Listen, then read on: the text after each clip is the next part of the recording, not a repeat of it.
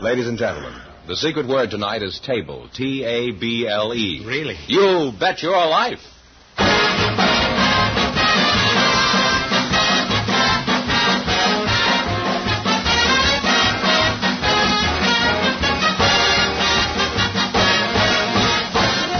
The more than 3,000 DeSoto Plymouth dealers of America present Groucho Marx in You Bet Your Life, the comedy quiz series produced and transcribed from Hollywood. And here he is, the one, the only. Sorry, he's taking the five mile trial. Oh, that's me.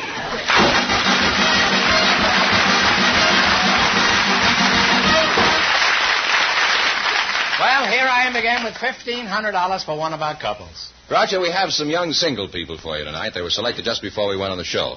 Uh, Miss Madonna McGlone and Dr. John D. Chudikoff meet Groucho Marx. Wait a minute, Fenneman. What's that name again? Uh, Chudikoff. Gesundheit. well, welcome, youngsters, for the DeSoto Plymouth dealers. Say the secret word and divide $100. It's a common word, something you see every day. Miss uh, Madonna uh, McGlone. Is that right? That's right. And Dr. John uh, D. Chudikoff. What's your hometown, uh, Madonna?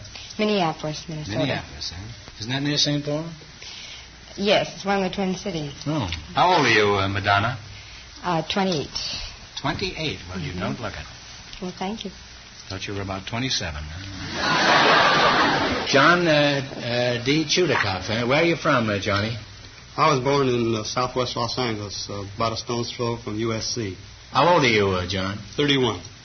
And how did you meet your wife, John? I'm not married. Don't change the subject. How'd you meet your wife? what are you doing now, Mr. Chudikoff? Uh, Dr. Chudikoff, if you don't mind. Oh, yes. I, I don't mind. It's your patients I'm thinking about.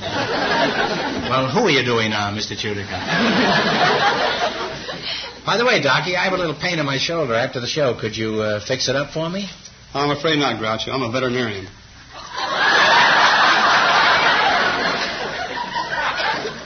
Where is your abattoir, Doc? I operate the Valley Animal Hospital in Van Nuys. You do?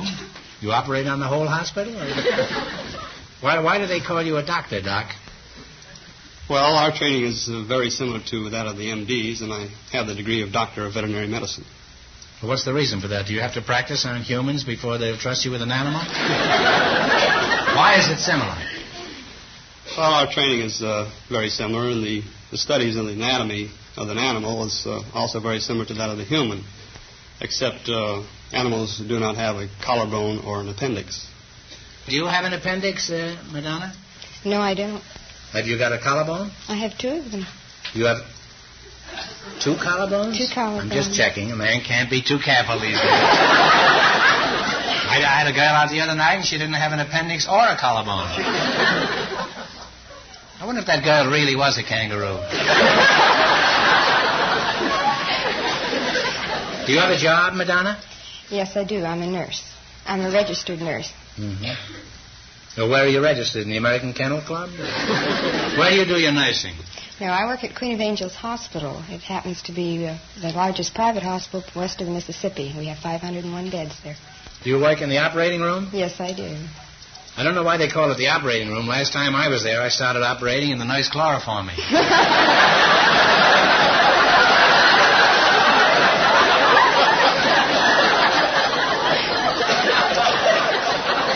Uh, are you assigned to any particular part of the hospital? uh, You know, in case I get sick. Well, I'm always in the operating room. Oh.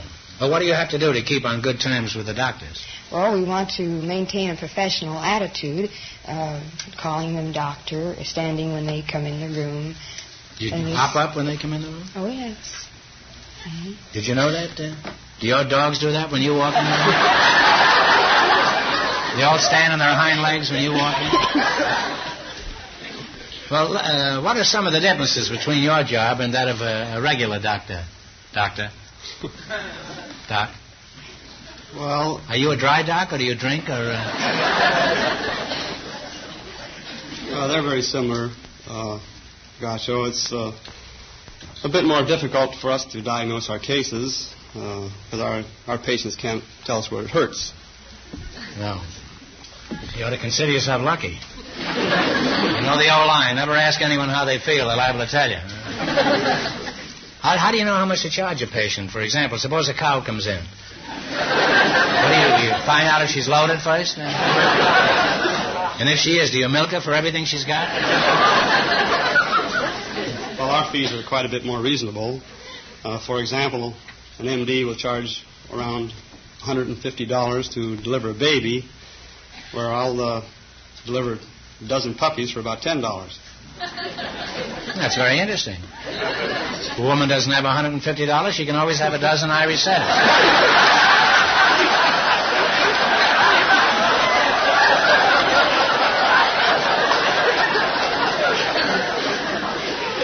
I want to ask you a question, Doc, and I want you to be honest about this. What brand of dog biscuits do you smoke? Now, uh, is it safe working with animals? Isn't there a chance you might catch something dreadful like fleas? No, there's not much danger. In fact, many ways it's uh, it's safer to work with animals than with humans. Well, how, for example? Would you mind amplifying that a little? Well, believe it or not, for example, it'd be much safer for a baby to be licked by a dog than to be kissed by a human. You mean it's safer to be kissed by a dog than a human? That's right. Doc, I think I understand why you're not married.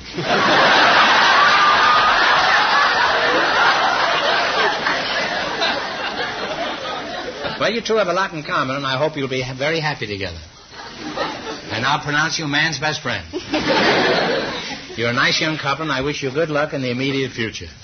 Because in just one minute, you're going to play your Bet Your Life for a chance at the $1,500 question. First, I want you to pay close attention to some good advice from Mr. Fallon. Friends, I'd like to remind you about getting your car ready for colder weather. Be sure to tell them, George, there's a lot more to it than just getting antifreeze and having the oil changed. That's right. If you expect your car to start on the coldest winter mornings, to shift smoothly, to operate efficiently, then the place to take it right away is to a DeSoto Plymouth dealers. First, for easier shifting on even the coldest days, your transmission will get the proper lubricants. For quicker winter starting, your battery will be checked. To handle the increased electrical load of winter driving, the DeSoto Plymouth dealer mechanics will step up your generator and check your spark plugs. The brakes of your car are especially vital in bad weather, so they will be carefully serviced for safer winter stopping. The master technicians at your DeSoto Plymouth dealers will tune the engine of your car, too, to make sure it will give you economical operation mile after mile. And of course, you'll get the proper oil, your radiator will be cleaned and flushed, you'll get a good antifreeze. All the things your car needs to give you worry free operation even in the coldest weather. And believe me, you'll be amazed how little you pay for all this expert service to your car. So drive in for that cold weather checkup tomorrow. Wherever you see the famous sign of better service, the friendly sign of a DeSoto Plymouth dealer.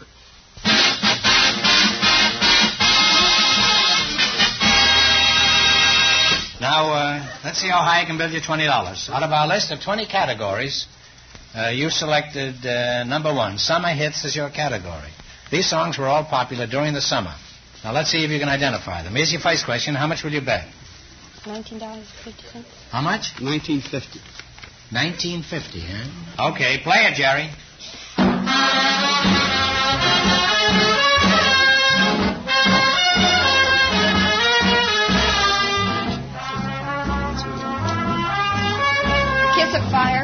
Fire. Kiss is right.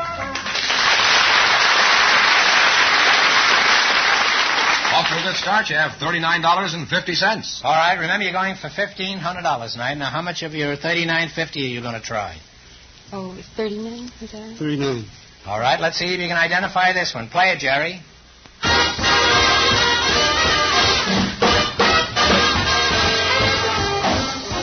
Walking my baby back home. That is absolutely correct. You now have $78.50. How much will you bet? $78. 78. Did you consult with the dog doctor? Yes, I did. What is the name of this song?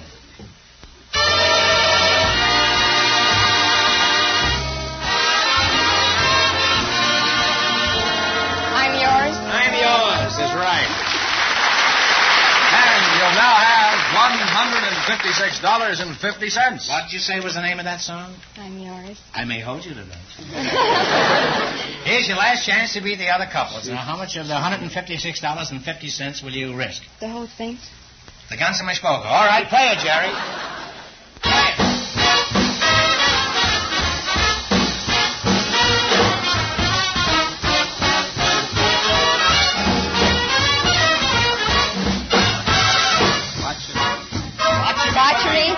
What is? Botcher me, my baby. Botcha me is right. And you wind up with $313.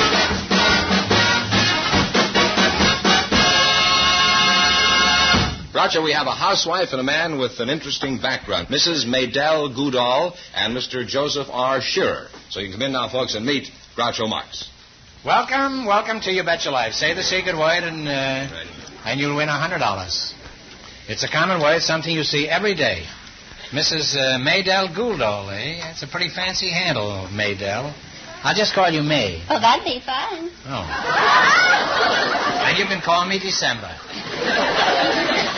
Where are you from, May? Oh, I'm from Houston, Texas, but I was reared in San Angelo, Texas. Can't you tell that I'm a Texan from the way I talk? I can tell you're from Texas, but I didn't know you were reared, that's all. Mr. Joseph Shearer, you're a dog doctor, huh? No. Oh, I'm you're the- not? Oh, well, where are you from, Joe? I'm from Lausanne. I beg your pardon? I'm from Lausanne.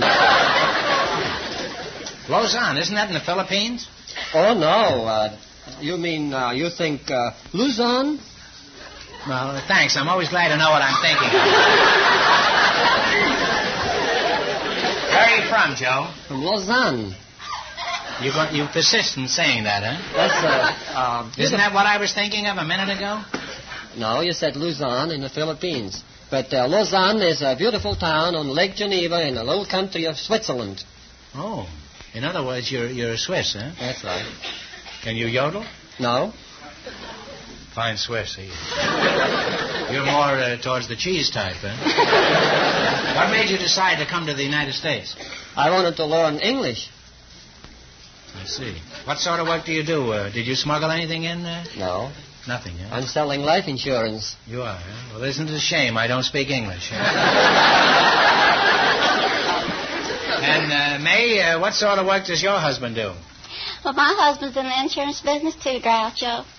Well, I'm caught like a rat in a trap. are, are you married, uh, Joe? Yes? No insurance against that, is there? No insurance again. How did you meet your wife? Through Esperanto. Oh, Esperanto, yes. He's a marriage broker in Acapulco, isn't he? I knew him very well. Jose Esperanto. He also sells uh, trinkets down there. What's he doing now, Esperanto? I don't know. There's no such man I know of. Esperanto. Esperanto is an international language. Oh, I see. Well, uh, uh, tell me about this Esperanto. You say that this is a universal language? Yes. It has taken uh, words, uh, the international words from all the other international languages uh, English, French, German, Italian, even Japanese words and Chinese words in it. And no matter where you went, no matter where I went, I always found people who spoke the language. Did you ever meet a Mexican named uh, Joe Esperanto down Santa Cruz? I think he was. In Acapulco. Did you propose to your wife in Esperanto? Oh, yes. Uh-huh. What did you What did you say? And did she understand it? I bet you kept. Oh, it. she was one of my students in, a, in an Esperanto class. So I said to her, uh, uh, Mi petas esto mia edzino. Mm-hmm. Now, how come she didn't call a cop? Can you speak Esperanto? No, I can't even talk English very well. Well, I wasn't going to go into that. I just. What's the good of me sitting here and trying to insult you if you're going to do it yourself? well, it's been interesting talking to you two, and I wish you both good luck in the quiz. Beat our other couples, and you'll get a chance at the $1,500 question. Can't tell you how much you have to win, but George is going to remind our listeners. Dr. Chudikoff and the nurse won $313. And the secret word is table. Here we go. Let's see how high I can build you $20. You selected basic astronomy. Here's your first question. How much will you bet? Nineteen dollars and 1995. nineteen ninety We know who's bearing Grant's tomb, so we haven't anything to lose. So.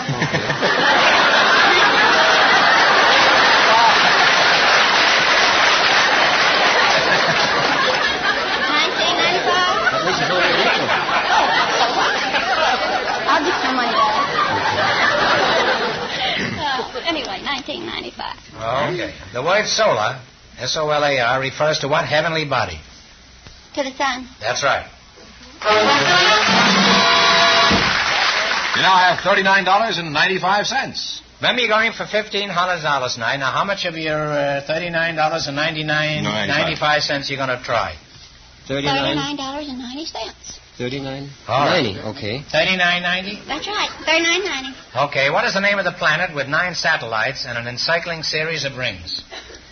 Saturn. That's right, Saturn. You're really climbing. You have $79.85. Here's your third question. How much of this vast sum are you going to risk this time? You have seventy-nine dollars and eighty-five cents. All but five cents. All right, seventy-nine eighty. Is that all right with you, Joe? Well, okay. The largest telescope in the world, 200 inches in diameter, is located on what mountain? Palomar. Palomar is right. You now have $159.65. How much? Oh, Ask we them- have ask them how much they bet. $159.65. How much? Ask them how much they're betting. How much are you betting? All but a nickel. Ask them in Esperanto.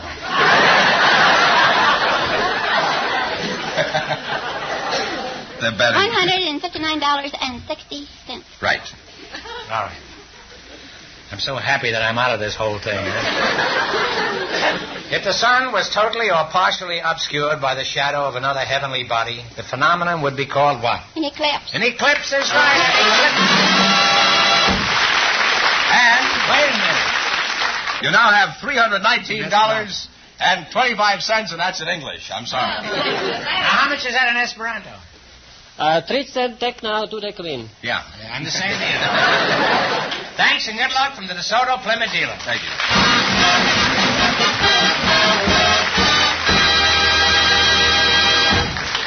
And now here's a beautiful girl I'd like to know better. With news about another beauty, the 1953 DeSoto. Hello, this is Wendy Barrie. And right now I want you to get a pencil and mark down this date, November the 13th.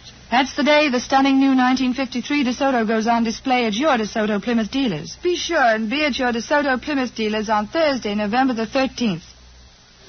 Groucho, we invited some prominent uh, Republicans and some Democrats to the program tonight. And uh, just before we went on the air, Mrs. Mildred Younger and Mr. Stanley Long were chosen to be on our show. And here they come, folks. I want you to meet Groucho Marx. Welcome, welcome for the DeSoto Plymouth dealers. Say the secret word and divide a hundred dollars. It's a common word, something you see every day. Mrs. Mildred uh, Younger, huh? You look like you're a very happily married woman. I am. Well, I'm sorry to hear it. and you're the Republican. I certainly am. Now, pardon me while I make a shrewd deduction.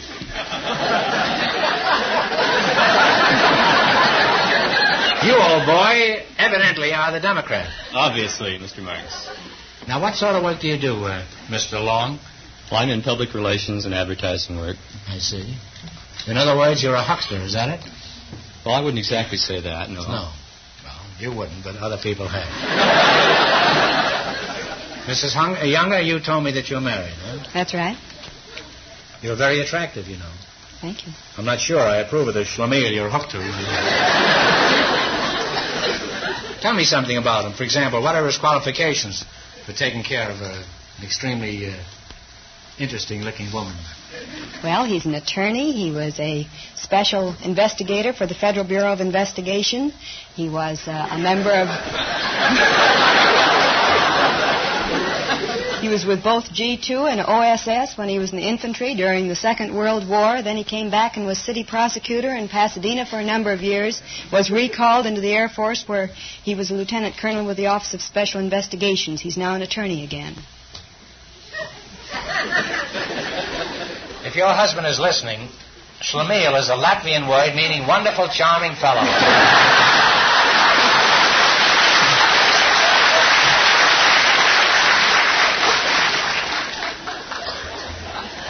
We have the preliminaries out of the way, let's talk politics.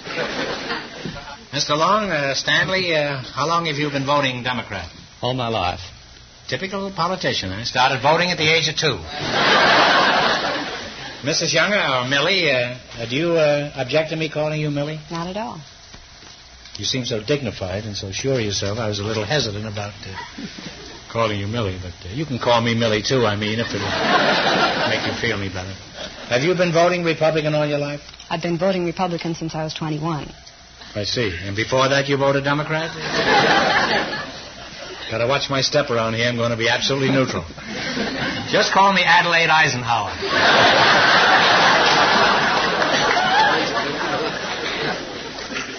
What's your reason for being a Republican, Millie? Well, I believe that the Republican Party offers more to the people. Really? Exactly how much are you offering, eh? You've got us mixed up with the Democrats.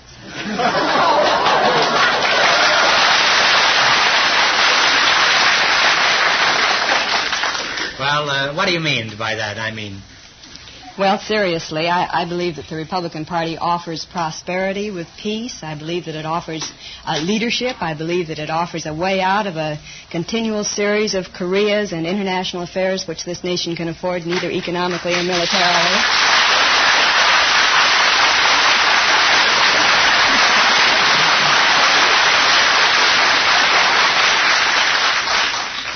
I think it offers all of those things that all of those people in the audience expect it to offer, and I, I fully intend to see to it that our party lives up to their expectations. well, I hope they do. Now, what made you decide to become a Democrat, uh, Stanley? Well, I think probably Groucho, from the very first uh, time I became cognizant of policies, social economic policies, uh, I became aware of the fact that the Democratic Party was actually the party of the people, the party that the people looked to when they had something to protest about, uh, the party that uh, was not the privileged party in the sense that they cared not uh, what the people did as long as they got along some way or another. And uh, I think that Mrs. Uh, Younger was quite correct when she said that the uh, you had us mixed up. The Democrats have offered a great deal and have delivered a great deal And as long as I can remember. deal.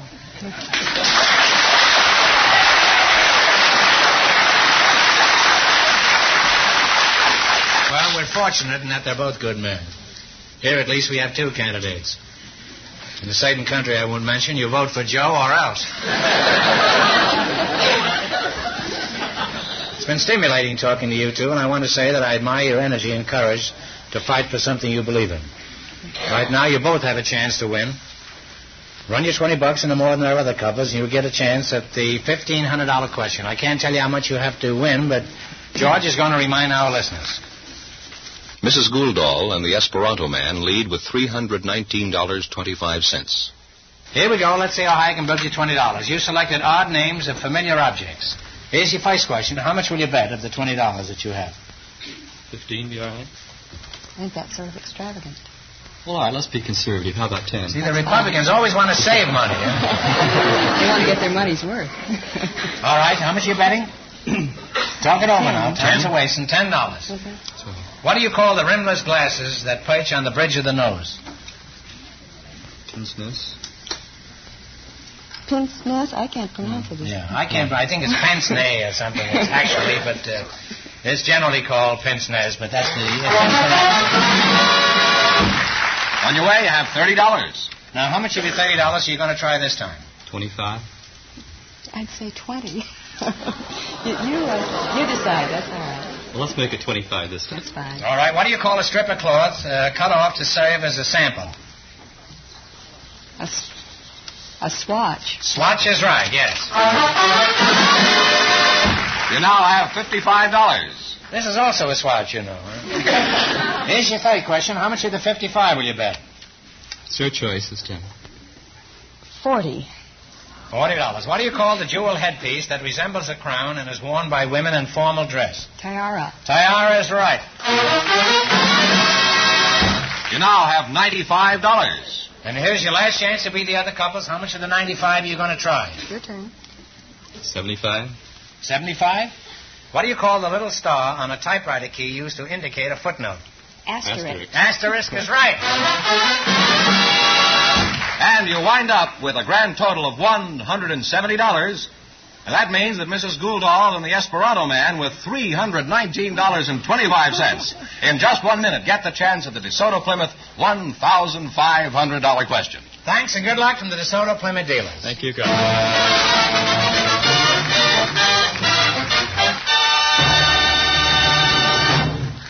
Friends, I've just seen a preview of the new 1953 DeSoto, and I want to tell you what a beautiful new car it is. This car's got a Well, don't worry, folks. There's nothing wrong with your receiver. We just turned off Groucho's microphone so we wouldn't give away the exciting story about the new 1953 DeSoto until the big day. You see, on November 13th, at your DeSoto Plymouth dealer showroom, the distinguished 1953 DeSoto goes on display for the very first time. Remember the day, Thursday, November 13th.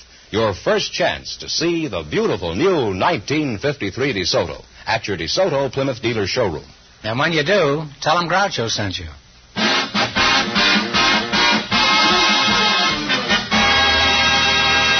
And uh, here's Mrs. Gouldall and the Esperanto Man all set for the DeSoto Plymouth $1,500 question. Groucho?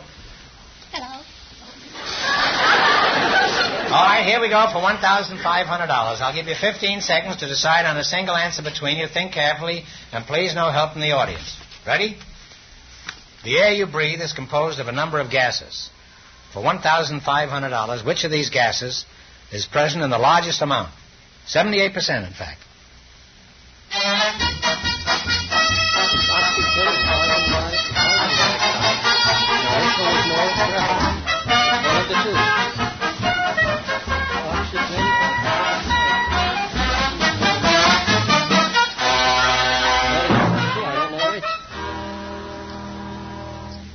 Kids, what's the answer you two have decided upon? Oxygen.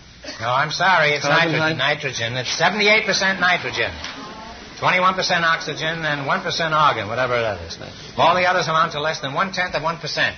So the correct answer is nitrogen. So that means the big question next week will be worth $2,000. Well, they lost the big money. How much did they win the quiz? Uh, $319.25. Well, congratulations and thanks to both of you and to all of our contestants on the show tonight. Thank you.